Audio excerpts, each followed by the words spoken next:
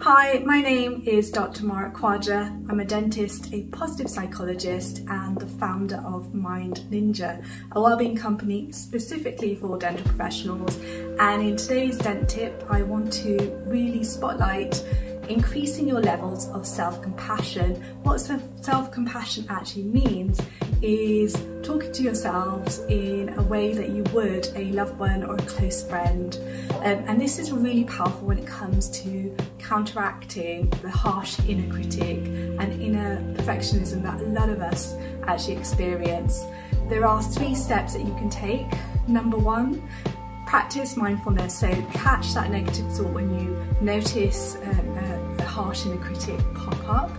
Number two, remind yourself that you're not alone. Um, and this is really crucial because it reminds ourselves that you know, we all experience stress, we're all part of this human experience um, and it just really helps to put things in perspective for us. And lastly, use words of self-kindness um, and these are words that you would share a loved one or a close family friend um, and this could be, for example, when you notice you know, stress pop up for you, just validating that kind of suffering and pain and that experience by saying, look, um, I know you're going through stress, a lot of us experiencing it are do we actually experience this um, and you know I've got your back. What do you need from me right now? How can I comfort you? How can I help you in this moment?